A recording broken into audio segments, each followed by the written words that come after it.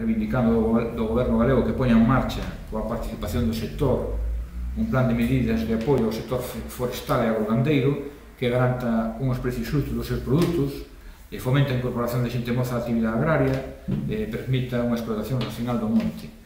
Tamén a política agraria da Xunta de Galicia entendemos que debe estar baseada en principios de apoio e potenciación da agricultura extensiva, da gandeiría, ordenación dos usos da terra, orientación de cultivos, tomando como objetivo a mobilidade das terras e a aplicación da base territorial das explotacións,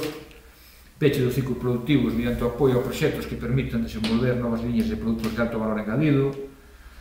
Tamén reivindicamos no sector pesqueiro medidas dirixidas a un plan integral da recuperación dos caladoiros do litoral, rías e bancos naturales de marisqueo, no cal se recollan paradas biolóxicas subvencionadas, recuperación do litoral e bancos de marisqueo afectados polos recheos ou outras accións contaminantes,